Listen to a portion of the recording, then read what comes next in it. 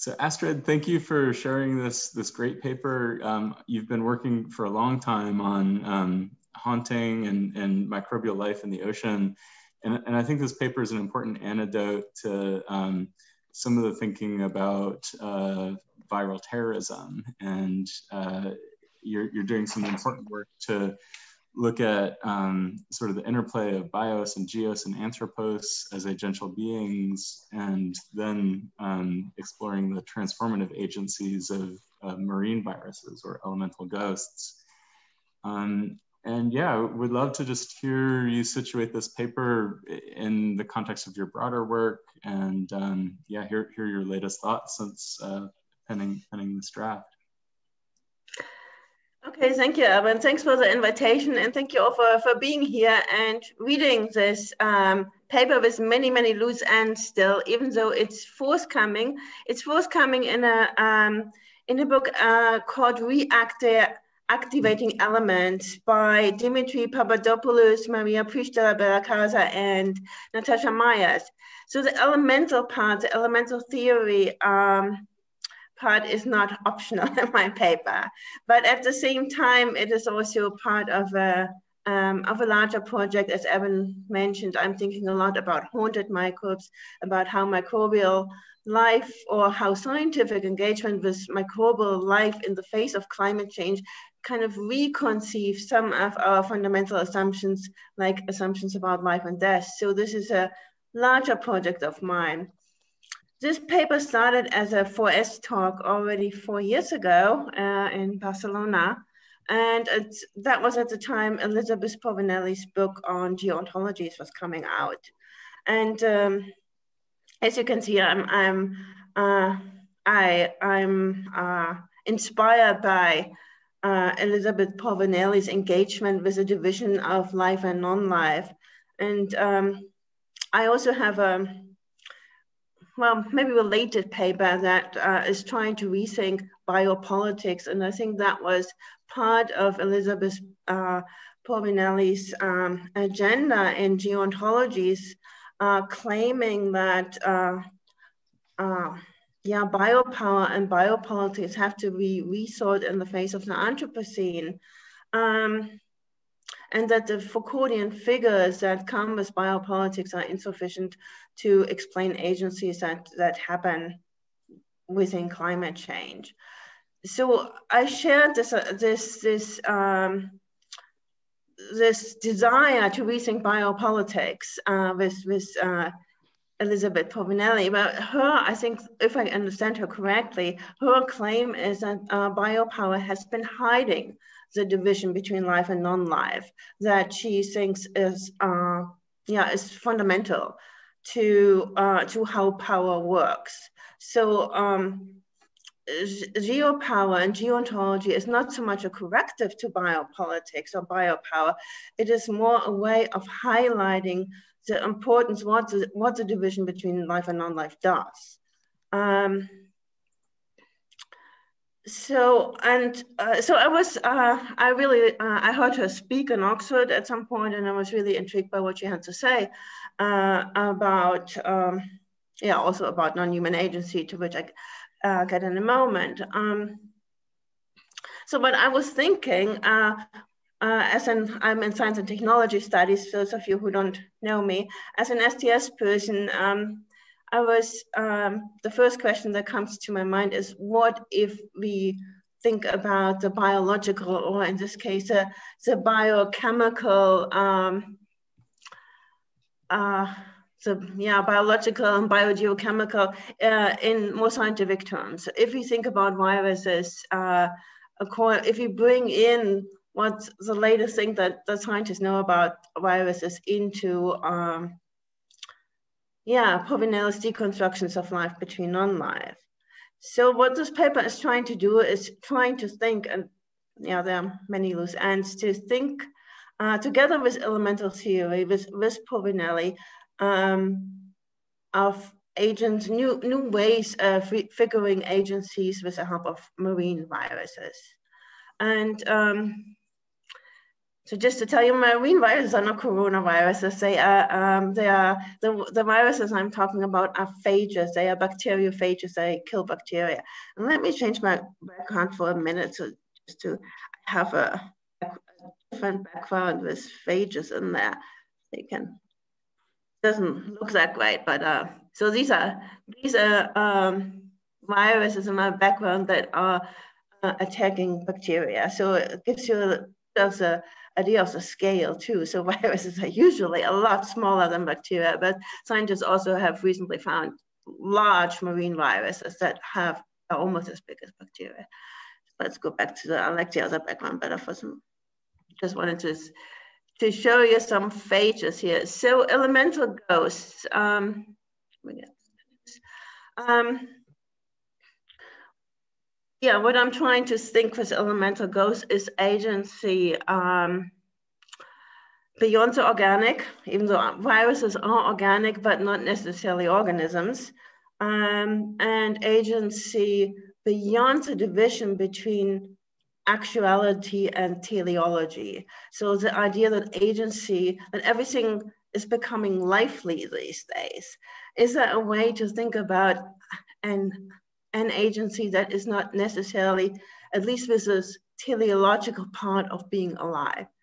And maybe I, I, I stop here now and maybe I'll say a lot more uh, in response to, to questions. So just as situating the paper. Well, actually, that the bit that you ended on was um, one of the places where I, I, was hoping you'd go kind of deeper with Povinelli. So, you know, like you, I, I uh, got a lot out of geontologies when um, it arrived. Um, and but here's like a super nerdy, like on page 39 and and, and geontologies. Um, I, I, I think you know there's there's a there is sort of a teleological assumption about um, so she's on page 39 talking about metabolism um, uh, characterizing metabolism as something that consists of biochemical processes that emerge from and are directed towards creating and sustaining a certain kind of intentional substance that is goal directed at every and all level uh, and whose final end or goal is to sustain and reproduce a version of itself. And I, I think life is more like, you know, teleology, I, I just don't buy it, right? And, and I, I see this paper, you know, starting to gesture towards a vision of life that is non-teleological and would love to just hear you say say more and, and kind of go go deeper and, and push push Povinelli because I, I, I, don't think um, I mean I, I, think she's naturalizing some some of the like biology 101 def definitions of life and I, I don't I don't think um, I think we can go further. Um, I don't think she's trying to critique uh, or naturalizing. I think she is she is delivering us what she thinks is a is a, general understanding of of life, and um, I think reproduction uh, as as the goal of life is is still uh, one of the um, yeah well it's one of the central definitions of of uh, of of the meaning of life, right? Um, so in in, in this I, sense, I guess, I, guess I read it as like so so heteronormative, right? Like so I'm I'm thinking it with like Lee Edelman's No Future, and I'm thinking it with you know Tim Dean's viral kinship and unlimited intimacy, where reproductive futurity is um, kind of dismantled by these queer theorists of life. And and i just i just found like oh beth you could be you could be so less heteronormative with this idea of life. But you know we're not just talking about beth we're talking about your paper. Um, but uh, yeah, I would, I would just love to hear more. Um, yeah, I will definitely also try to pay more attention to um, to that part uh, in Povinelli, and I'm also, I mean, the yeah, I'm invested in this um, in this teleology uh, that, or in deconstructing the tele teleology, but not necessarily uh, in coming up with another definition of life right? I'm uh, so the, the goal is rather um, I'm, I'm with Povinelli here and talking with viruses about the irrelevance of the distinction between life and non-life for agencies, right? So uh, for agencies and for, for the importance here in the in the carbon cycle.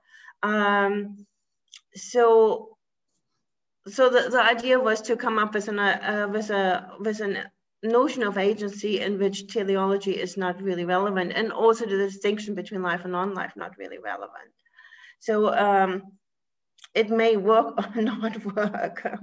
Uh, um, yeah. Cool well if if anyone is just joining us for the first time this week feel free to unmute yourself and ask a question or put it in the chat first um, I've, I've got other questions that I could start shooting. Um, and, and maybe Astrid, if, if you could just tell us more, you know, you're, you're accounting for these geochemical carbon cycles, and this is, this seems like a really important critical um, contribution of, of the paper. Um, but it's not a Lovelock story. So, so maybe could you situate this, because because that I guess is also kind of a story of, of intention and teleology, like Lovelock. Um, how, how would you kind of situate your understanding of phages and, and um, oceanic microbes vis-a-vis these more homeostatic accounts?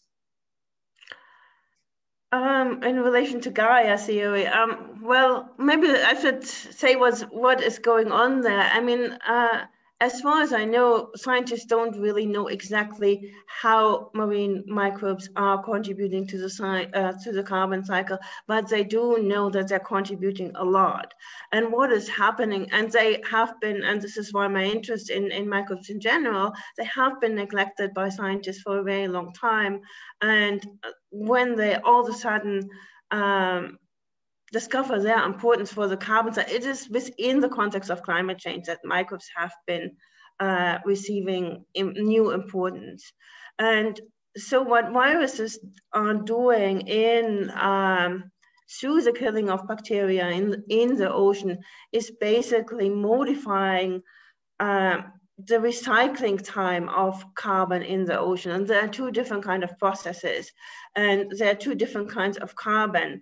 Um, so when the, when they're killing bacteria, the, the material that, that remains is kind of, uh, they talk about dissolved organic carbon that can only be taken up, if it can be taken up at all, by us, by other bacteria. It doesn't, it's, it's a kind of a negative, it's a lack of carbon in the food chain. And carbon, when, if you think of a food chain as a chain rather than a cycle or a web, uh, in those images, the, the carbon goes directly back from, from small craters into bigger and bigger craters and then back into the atmosphere through humans at, at the end. Um, so the, the activity of viruses is modifying uh, the, the, time of the recycling of the carbon in the ocean. So there's something that the scientists call the microbial loop in which uh, bacteria take up, up some of these dissolved organic carbon and, but then there's a second mechanism in which uh, also through the activity of uh, microbes, carbon becomes this uh, inedible thing that is so small that even, and I don't think it's understood why that is, uh, that bacteria that is completely lost for the food chain. And that is a resource that, that scientists now think as an opportunity for carbon sequestration.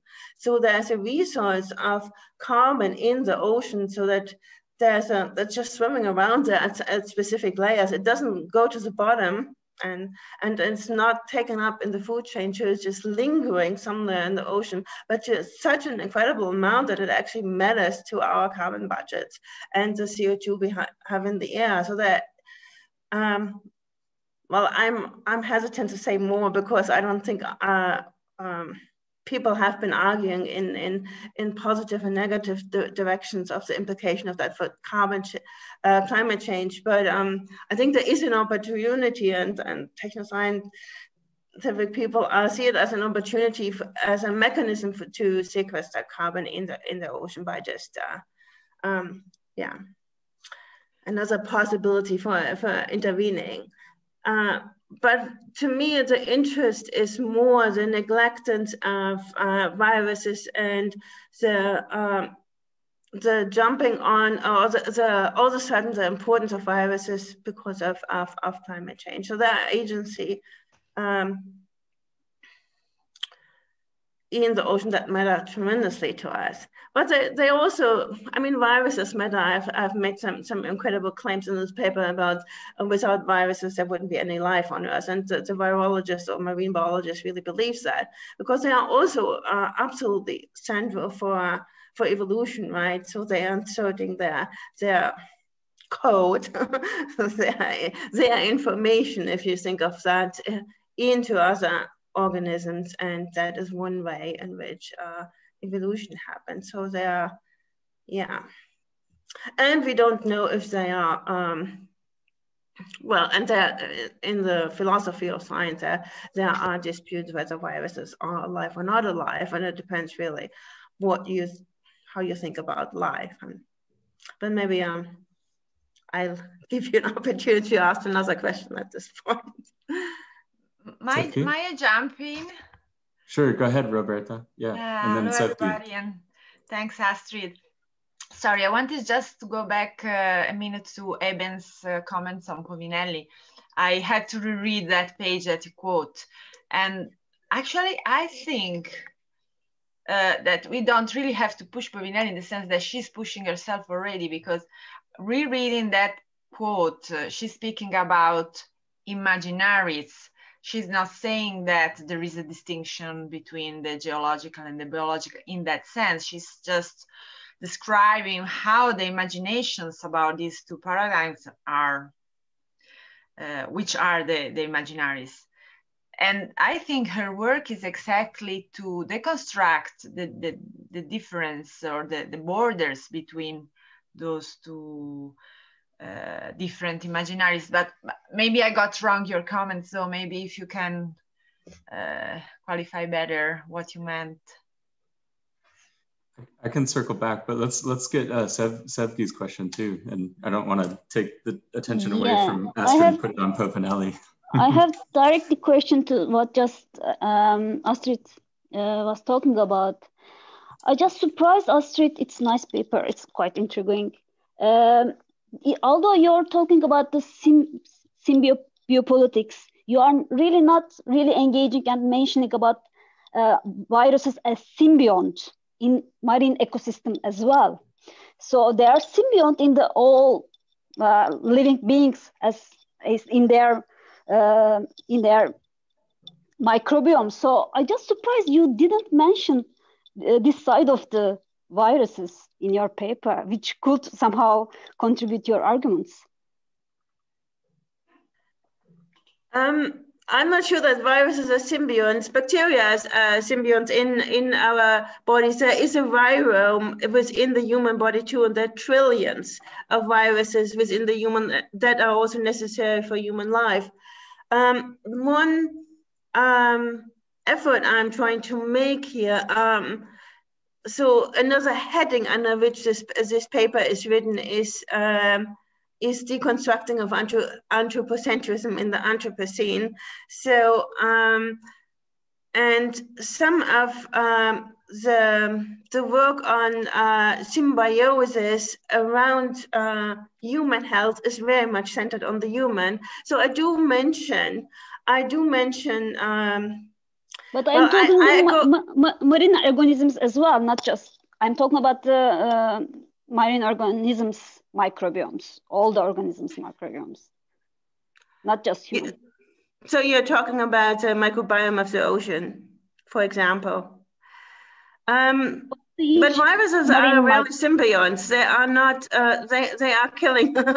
I'm, I'm no, talking no, about the viruses. Uh, no, actually, they are they are contributing somehow. Each organism's survive. Um, I mean, um, as you call it here, metabolisms, but or immune systems. By also as an ecosystem itself, in each organisms, there have quite important functions to somehow deal with the bacteria as well. I mean there, there, there is some interesting discussions there about uh, viruses as symbionts in other, I mean, in each organisms, not just human. In fact, um, Sasha Gorbalenya, our, our kind of re resident coronavirus expert, um, insists that the large majority of viruses are not pathological. Um, coronaviruses and every other taxon, and, and I, am uh, that extends to phages as far as I know. So, so yeah, I, I guess there, there's one one sentence where um, you say not all viruses are terrorists, um, but I, I, think there's you know there's there's a way to kind of flip it even even further if if, if you want want to go down that path. Well, I think phages by definitions are killing. uh, Actually, no, but no. They, they are those viruses, they are defined as those viruses that are killing bacteria, right? So uh, I think, yeah, I wanted to um, I wanted to emphasize here that the, the, killing of bacteria, the killing of individuals is actually contributing on another scale to uh, diversifying life and the maintaining of life on a different scale, on a different scale, right? So, um, yeah, I, I think I, well, there, there's lots more you can talk about viruses, and there are many, many, many other stories about viruses and appreciate viruses right? One, one is evolutionary reasons, but also uh, clearly we do need viruses uh, in order to, to maintain life on so many different levels. Um, I was intrigued by, uh, by the idea that killing on one level uh, contributes to diversifying of, uh, of life on another level. Um, so I, yeah, I could have written about other kinds of viruses, obviously, too. Um, but I also wanted, I made an effort to, um, to, this is, I'm not writing about symbiosis, even though I'm acknowledging symbio, symbiopolitics, a term co uh, coined by Stefan Helmreich and taken up by many people. Um, and that is, uh, I'm also situating this book with, within this wonderful anthology by, uh, by Anna Tsing and Ellen Gannon, Heather Swanson, and Nils Bubandt on uh, the, the art, it's sitting here somewhere, the, the art of living on a damaged planet in which the book, as you may, some of you may know, are divided into monsters and ghosts, and the monsters are those entities that are um, engage in symbiosis, right? So half of the book is devoted to symbiosis, the other half is devoted to ghosts. And so I'm trying to relate uh, my paper to the ghost part in this anthology, but trying to do something slightly different with ghosts. Well, uh, in in a sense that um, yeah, haunting is becoming something not necessarily negative for us. So the, that haunting can be promising and pointing to a future that, that doesn't necessarily end in apocalypse. So that was an idea. Um, I don't know. I, I have a kind of. Go ahead, Cesar. Yeah. So, okay, I, I find the paper really interesting. It stimulated me in many ways, and the other I'm kind of confronted with some. So one of the things is there seems to be like some things that I would call more anthropomorphism and some things that are more anthropocentric. And I find that difference is, is something that should be emphasized because sometimes you have uh, notions. Okay, so for me, it, anthropomorphism is unavoidable. You cannot basically make a, a theory about something as a human, not that it, isn't human in a way. And the I problem agree. is when we go kind of anthropocentric, and for me that, well, I, I, I see your point that often that implies attributing to others or assuming that the mechanism should be analogous to human. Uh, but for me, it's more problematic when we kind of not see um, the similarities. So for instance, in this case, I, I or in regards to Povinelli, I, I, kind of go back to Cairns-Smith, uh, who was talking about uh, about clays and the reproduction in clays, and clays growth. Uh, they have habitus, so it's not the same thing, but it has some some issues in common. Which I, I don't know if that's what you refer to teleological. Um, I have to go back to Povinelli. In in this case, what I find interesting is the, the contrast between grazers and viruses. And what I found very interesting is why is it difficult to perceive smaller ones as predators? Um, and for me, it was more interesting to think about, about that ability to kill which you are pointing out, but bacteria, viruses are are killing, are doing a lot of the killing, but killing is not necessarily bad. It's part of, of maintaining a balance and a symbiosis. Um, so I'm, I'm wondering whether it's it's more about enlarging the, the bios or to kind of acknowledge that antagonic side, which is not just growth, but you have to keep things in balance, and whether that could be more productive than thinking um, life not life. I, I I get a bit lost in the life not not life, because as you said, the the difference between whether viruses are alive or not depends a lot on, on the context you take.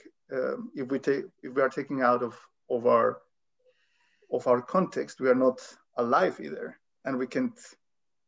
Um, yeah, I don't know what what your um, I'm not sure if I understand. Uh, thank you, Sila. I'm not sure I understand all of your points. First of all, I, I completely agree with uh, with important distinction between anthropomorphism and anthropocentrism, and I also think that anthropomorphism is unavoidable, and is uh, the efforts are um, maybe the, the, the translation of anthropocentrism for me is is uh, taking away the the human exceptionalism in the in the sense of superiority, right? And I did um, think that uh, these characteristics that distinguish life from non-life in Povinelli are specifically human characteristic, or maybe most of most of uh, most of life in the animal kingdoms, but not necessarily microbial life, right? So not not all uh, microbes were not allowed to die until recently either. so, uh, so, and not all uh, microbes have this progressive, uh, um, yeah, there, there is this idea of, uh, of, of, um, of on an evolutionary scale that blood life is complexifying continuously and microbes also intervene in that version. So there, there is something in this, when, when she's talking about uh, growth, development, and reproduction as markers of life, that does not hold for all microbes, right? But I'm not uh, further engaging with, with that question, what would it look like? And that is something that I started thinking of when I, when I uh, began the paper and then turned into other directions. Um, what would it look like if you actually take seriously life cycles uh, of uh, microbial life cycles, microbial ways of, of life? Um, that that would have been another approach to, to engage with that distinction.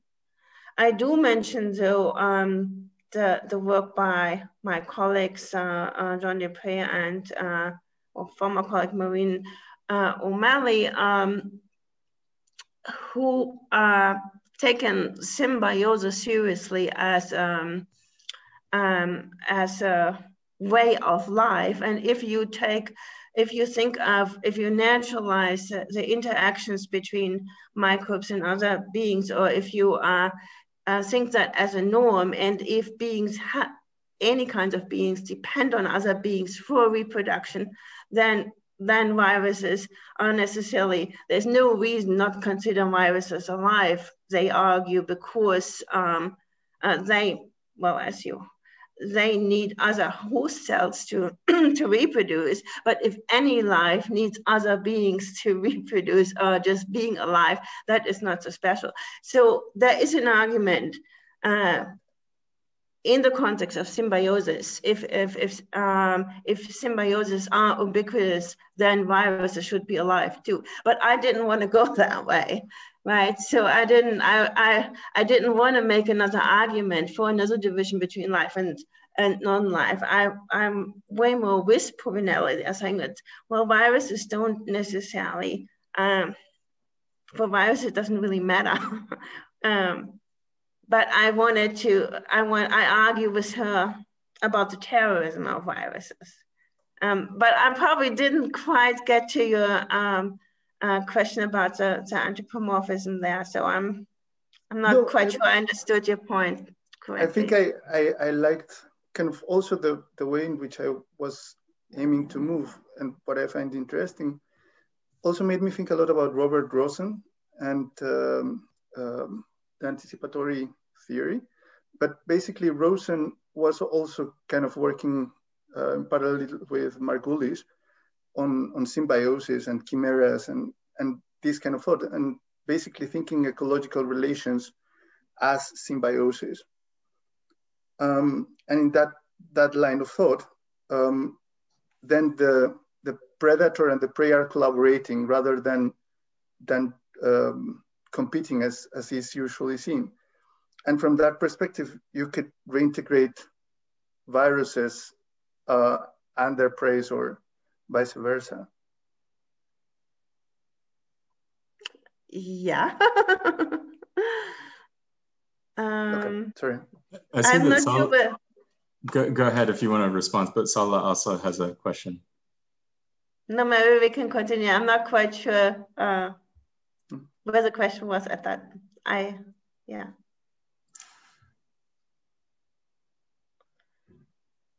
No, I, I, don't have a response at the moment. Sorry. Go ahead, Salah. yeah. No, I'm I'm really enjoying the conversation, and I think each and every question and comment opens the great paper to me more and more, and I, I really want to read it for a second time, and I look forward to uh, reading it with the other uh, chapters together in the volume.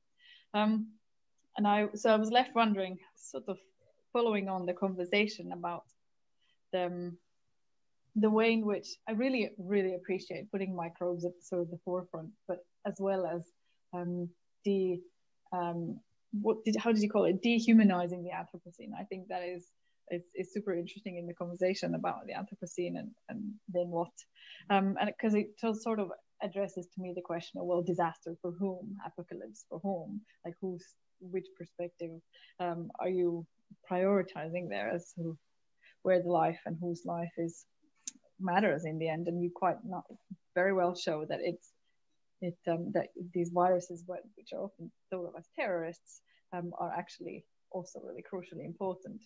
Um, i feel like i also sometimes get a little bit lost in the semantics of um, is what the virus is so in as much as as much as i love the fact that the viruses are put so centrally there i also feel like they're left a little bit alone to do the work um, of dealing with the human caused problem. So in some ways, I was perhaps wanting to know what how what is the role of the humans in in this carbon cycle process that where attempts are being made to um, reorganize the situation that neoliberalism and capitalism that you described at the beginning of kind of creating this problem.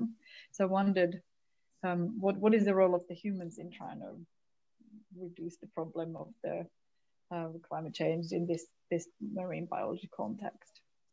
So now that it seems like the you're putting while putting the viruses to the center stage or microbes to the center stage, the, the human responsibility um, is is left out of the picture. And I was wondering if you could tell us a bit more about what's sort of behind the, the work.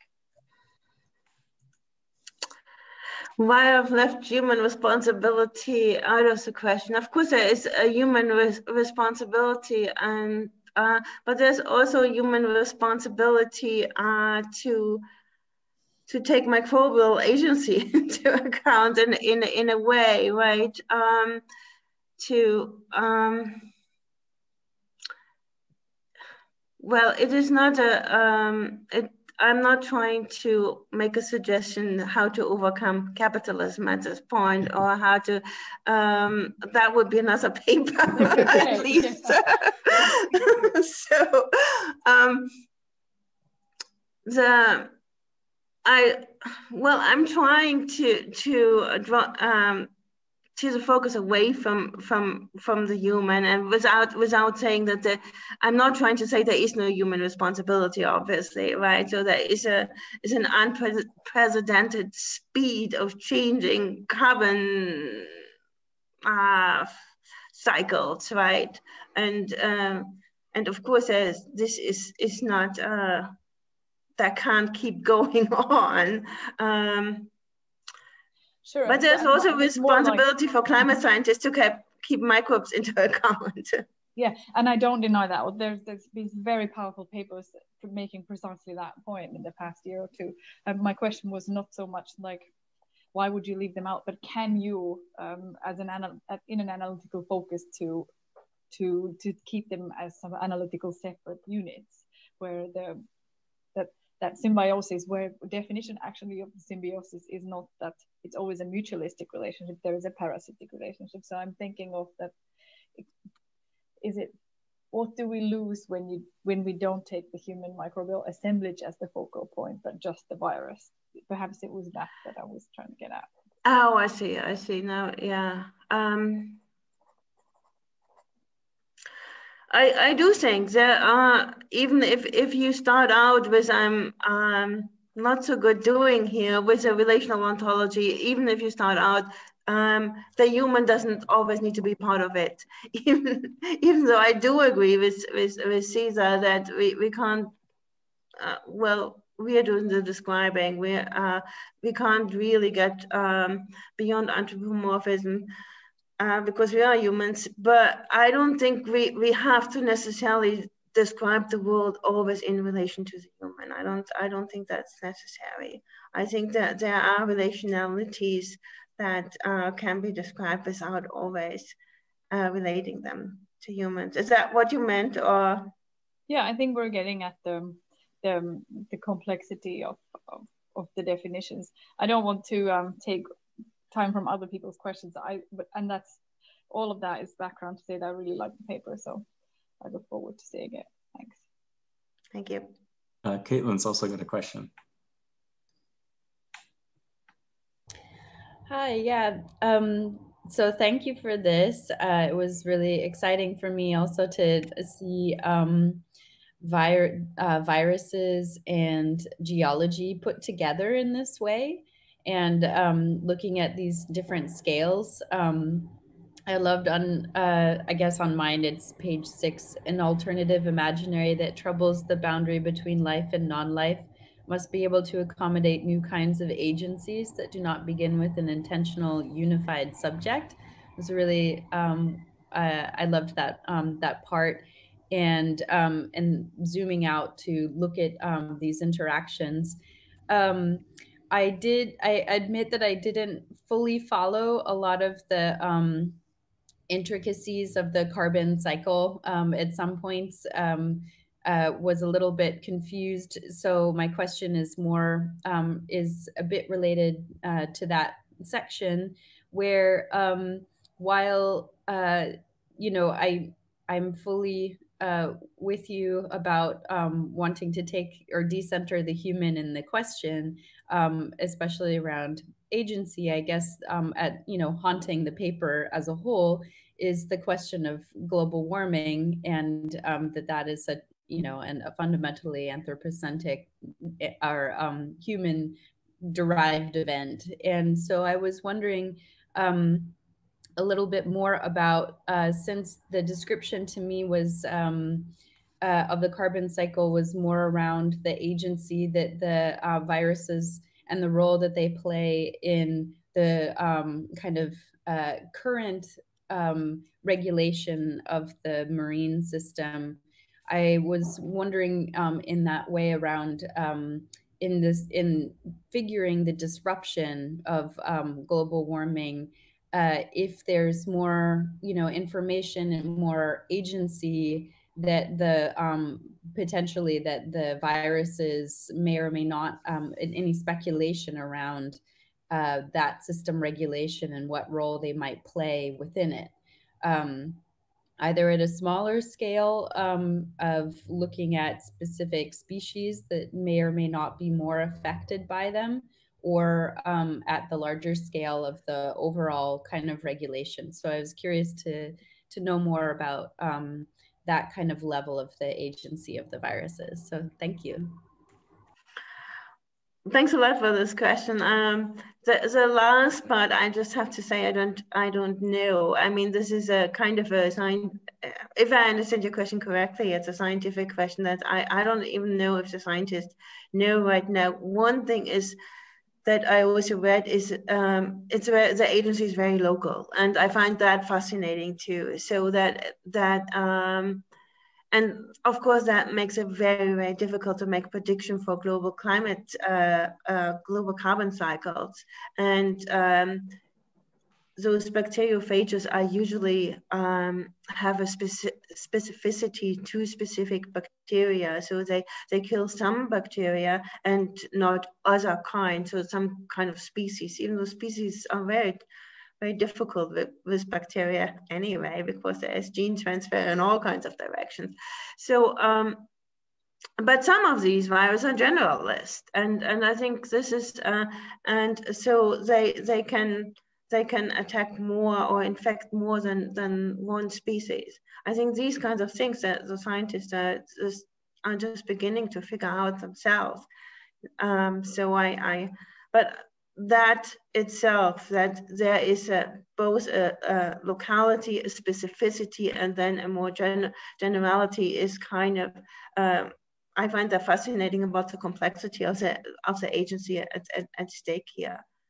Um, with the ghostly part of the agency, I wanted to, um, that was also taking up from, from Povinelli, wanted to emphasize that the viruses don't have to be uh, present in, in the sense of being actualities. So I'm trying to get at a notion of actuality that is actual, but not necessarily present, right? So that is a, that is a, the temporal distinction between life and non-life I'm, I have been so interested in so that that is that um, actual en- that entities have to have a presence in but then if you have presence you can't be an agent anymore because you don't have desire you don't want to go elsewhere you don't so and I think that is the um, the part of the viral agency that I find fascinating. And therefore, also, I'm not fully committed to say viruses are clearly processes.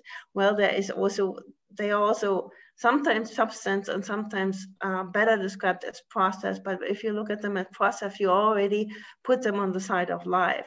So there is a, um, I wanted to hold on to this this this uh, multidimensional uh, agency of viruses, and yeah, um, scientifically, I don't I don't know what what the scientists will be doing with with that in the next few years for for the climate cycle.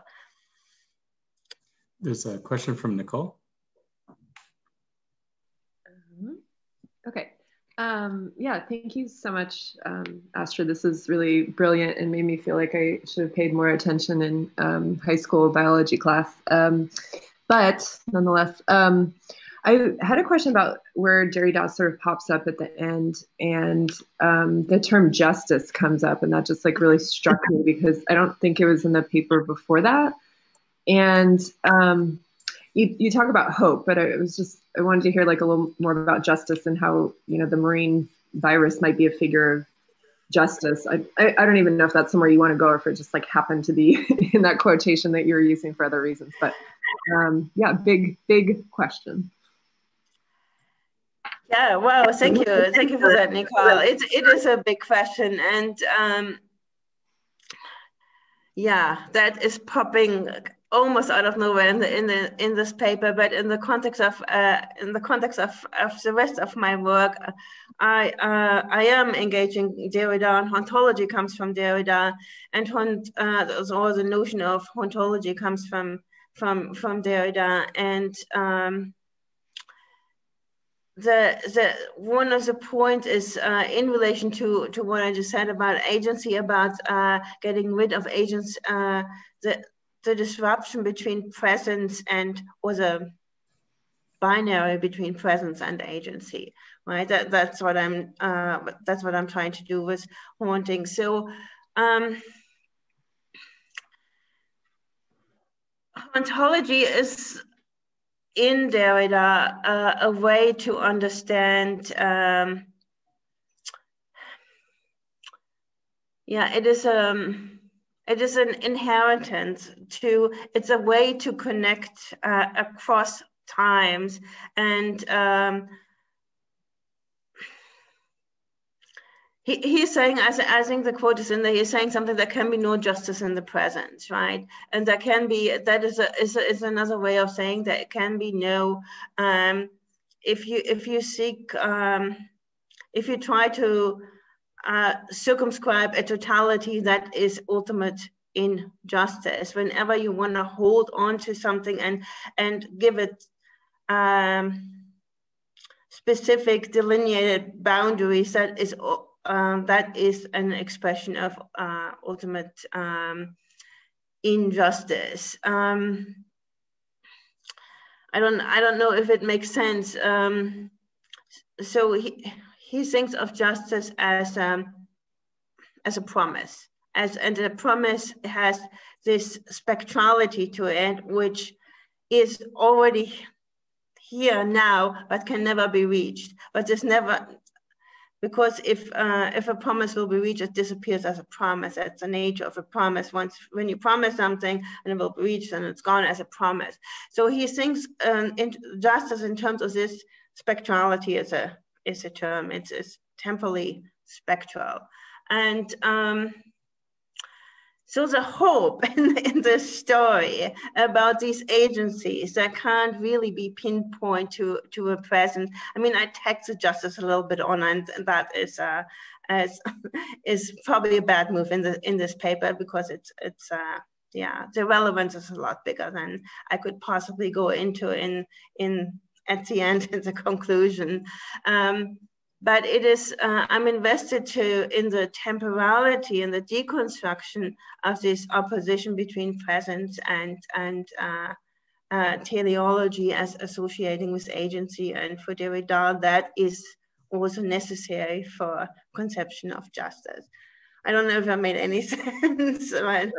actually yeah Thank you. okay uh, Cesar has another question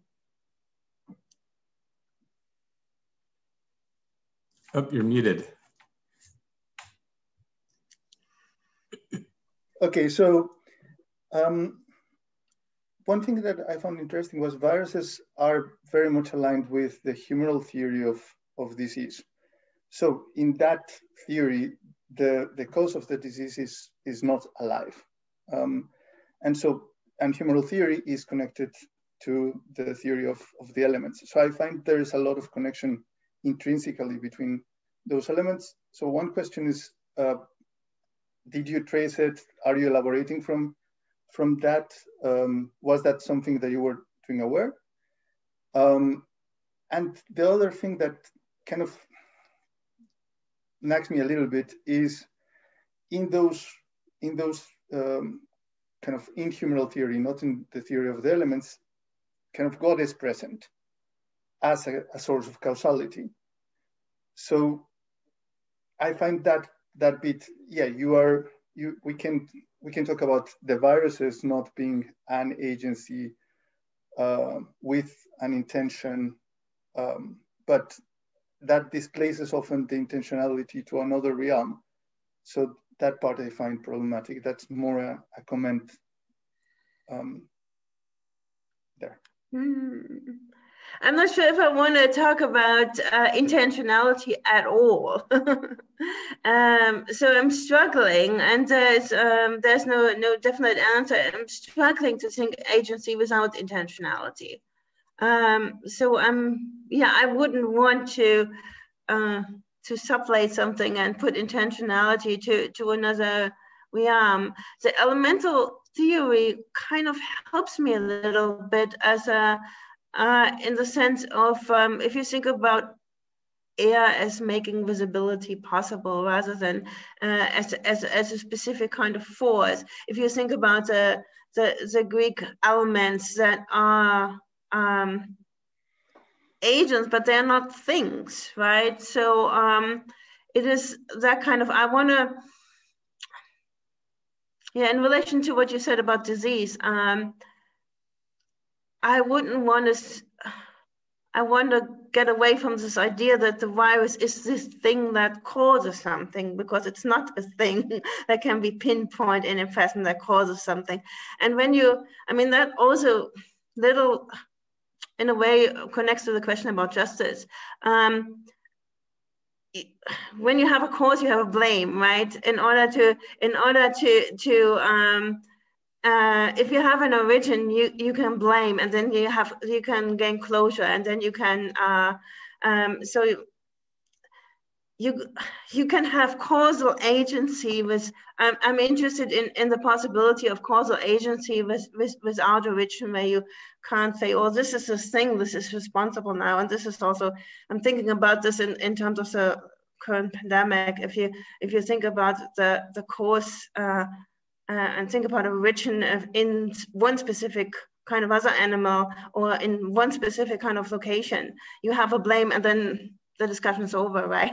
well, it's not over, but it's um, it's it's it's a the desire for closure that is um, um, that needs uh, entities or units in order to to put blame for the onto something which would be injustice in Derrida, in Derrida, Derridean terms. So I don't think about of um, the cause of a disease as a as a uh, non-living particle. if, that, if that is what you were okay, asking. So, um, in in the case of humoral theory, the idea was that people were getting sick because they were exposed to uh, hot or or cold or um, kind of the it was so there there wasn't uh, causal, the causality was there, but it wasn't implied as something that could be blamed. It was not something that was alive. And the mm-hmm. virus, so the, the venom uh, went as one of those examples. Uh, but but I, I get your point about, and, and it's very interesting to think about, okay, how to switch the, the blame of and the consequences of intentionality as blame. That's, I find that, that very useful. I'll think about that more. Okay. So, so going back to something you said in the beginning, uh, Astrid, uh, and, and also that's, that's in the paper about um, the ways that these phages are taking life out of the world. And, and um, you know, this, this is related to what Povinelli talks about. You know, she talks about uh, non-life breathing in and you know life breathing out as, on this kind of planetary scale. And, and i'm also thinking of the work of debbie bird rose who talks about double death and you know the, the kinds of uh, you know death usually is an intergenerational gift that you know gives uh, to the future. Uh, you know the, the the death of a whale fall for example or or a, a, a carcass in, in a terrestrial ecosystem but here, and, and I think this is, you know, uh, something that I'm taking away from the paper where my thinking is, has consequentially shifted. You know, you're showing us that taking uh, matter from life and rendering it into non-life is uh, at, at the current moment kind of crucial for planetary survival or futurity. Um, so so just wanted to point that out and and you know thank you for that and um, invite you to say more. But but also i i'm a little afraid of like the the techno scientific dream of mastery and control here. And it, it, it just seems to have gone so wrong in so many other domains. So uh, do you do you have any particular hope for that dream of you know let's let's understand these phages and sequester carbon this way or do you think it's like these other dreamings, like an easy technofix and a fetish logic that is bound to fail? Okay, uh, thank, thanks for this, Eben. Um, two points about uh, uh, my hope uh, is lies in the uh, non ability to control viruses here. Uh, I think um, part of the, it's of course there's always this this immediate scientific imaginary of an easy techno fix but i think uh, the the whole the complex complexity and undecidability of uh, that is has not only to do that the scientists don't know yet enough uh, but the inherent complexity and the inherent indeterminacy of the of the behavior of the virus um, I think would um, yeah invalidate uh, attempts of control. Um, So I, I just think that the viruses are smarter than humans. And so, and, and this is where my, and the, my, my hope is actually in the realization of that. Um, so uh, rather than the opposite, rather than a continuous attempt to control, but that doesn't mean that we have to try what's possible, right? So I'm also, I am also don't want to go all the way in the other direction.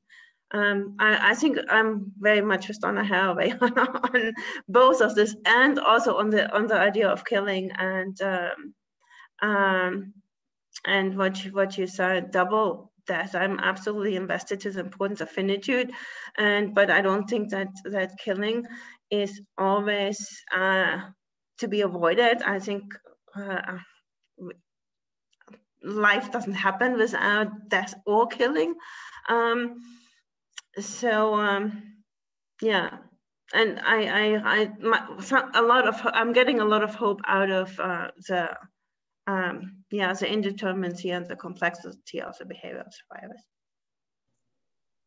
Thanks, Astrid, and, and, thanks everyone again for all the smart comments. Um, this is a super generative paper. Can't wait to see the, the final draft, and it sounds like a really fabulous collection that it's a part of. Uh, next week, we have Agustin Fuentes. He's a biological anthropologist talking about the importance of, of primate sociality, something that we're kind of living without, at least most of us in, in these times. Um, I'll circle back to some of the issues of, of, medical inequity that we talked about last week with Caitlin, um, sharing a bit of my book about new genetic medicines uh, the next week. Um, then Nicole uh, is, is going to share something. Uh, we've got some more um, scientists coming coming back. Uh, Jakob uh, Zinsstag Klopfenstein, um, someone who's um, a super smart um, guy involved in One Health, but um, looking at coronavirus animal interactions. Um, there's a lot going on. We've, we've also got Jamie Lorimer, who's just booked in before Christmas. So, so um, see you all soon. Thank you, Astrid. And uh, yeah, again. Thank you all for your, for your great discussion and your generous comments. Thanks a lot. Thanks. Eben, can you hold on a minute for? Sure. Cool. and thanks, Rachel.